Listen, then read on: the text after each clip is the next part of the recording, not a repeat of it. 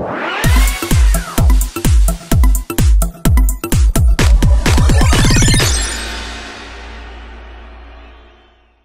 right, welcome to your next lesson here on Modern Lessons. What we are going to talk about are the Messages app, the Calendar app, Contacts, Reminders, and Notes app. All these are pre installed, and as you can see on the top of your screen, right up here, see this first row? That is all the pre installed stuff that'll come on your new iPad that you have right now. So, no matter what kind of iPad you have, iPad mini or iPad regular, whatever you want to call it, the big one, um, all that stuff is already there. So, we're going to walk through it. Uh, you can ignore the rest of the icons for now. We're going to be touching on those in a later modern lesson. So, for now, we're going to start on the very top left. So, see the green one right here? Messages. First, you have to go into settings and set up your messages app where basically you can put in your phone number and all this stuff will be asked of you when you're setting up your iPad for the first time. So, assuming this is all set up, you can go into messages and it will give you all the text messages that you've been having, which is pretty fun.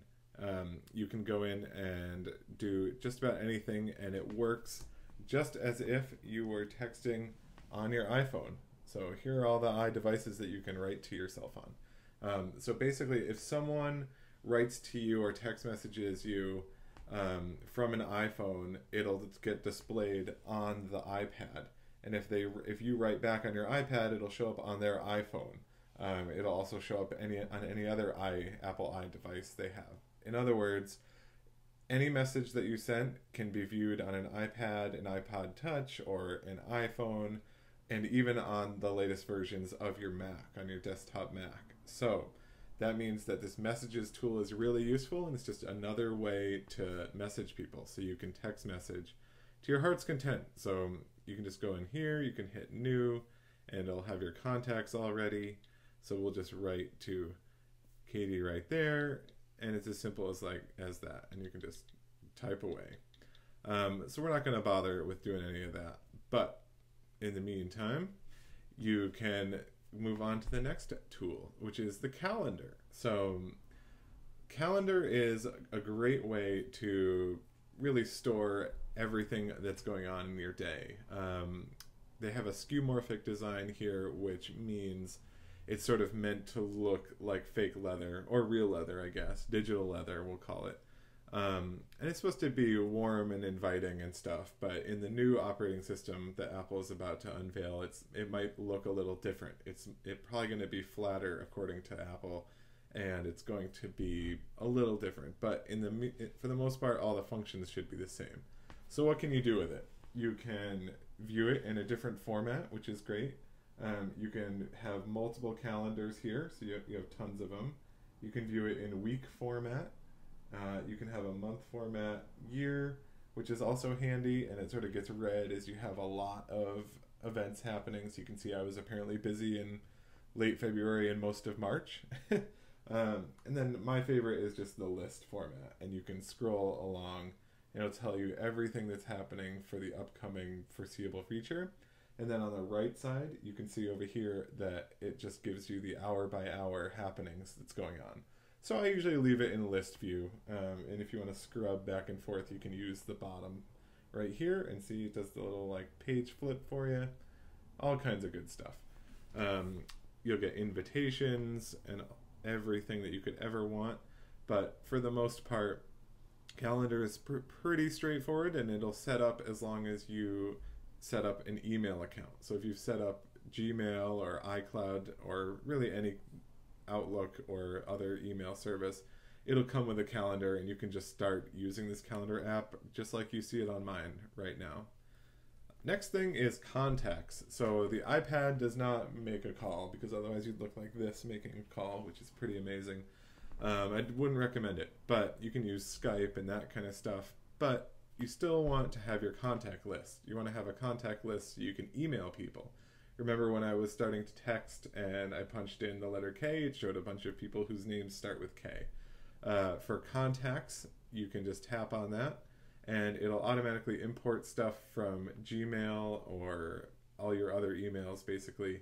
And you can just scroll through and that's pretty fun. Um, apparently, I did a lot of Craigslist spam things I got. Um, that's always fun. In any case, your contact list is viewable in both formats and looks just like a book. Again, that's skeuomorphic design, uh, but that doesn't really matter. You can always t- t- touch on the bottom right here, and that will let you add in a new contact. So you can just punch in all that information, hit add a photo, and it'll say choose a photo. So we'll just choose that, and you can do all this good stuff, and you can add in any kind of info you want. So all this stuff is meant to be very simple to use, but you just may not have known it was there. So we'll just hit the home button and go back out of this. The next thing we want to talk about is reminders, which is still a relatively new uh, app for iPads. Um, you can sort of have a task or use it as a reminder list for um, shopping, for grocery shopping, or for really any kind of to do list that you want to manage. I found it to be really useful. Um, you can sort it by completed and what you have to do today. You can easily create a new list. So we'll just call this a test. And now you can just touch right here on this and it'll just give you a list. Say hello, and then we'll hit return and we'll just add in another task. Say goodbye. There we go. And once you do it, you can tap on it right here and you can get some more information about it, which is pretty pretty easy to do. And once you complete it, you can tap on the little box and it'll check it off as having been completed. So this is really handy and you can navigate over to different months as you see on the bottom left. Um, it's just a really great tool to use. I feel like a lot of people don't talk about it or use it too much. Uh, and the final thing is notes, which is very simple to do. Um, notes is literally a notepad. Uh, again, with the skeuomorphic design, see this part right here? It looks like a yellow pad that has some paper ripped out of it, which is great. Um, basically, notes are as, as if you have a digital white pad uh, or notepad that you want to write stuff down on. So you just tap on the top right, and what that does is open up a new pad. So we'll say hello again. But this is, a, let's say, a notepad. So we also want to put in some tasks. So we'll say, bye new iPad. Take a modern lesson. Okay, so pretty straightforward. You can tap this bottom right button right here, and that'll hide the screen. And so you the best thing about the notepad right now is you can tap the little bottom button right here, and that will offer to share. So you can mail yourself the notes, copy, print, you can even text message it right from your iPad to other people. So if your spouse is at the food store and you want to make the grocery list while they're driving there, you can do that and then text it right to them, and then they can have it.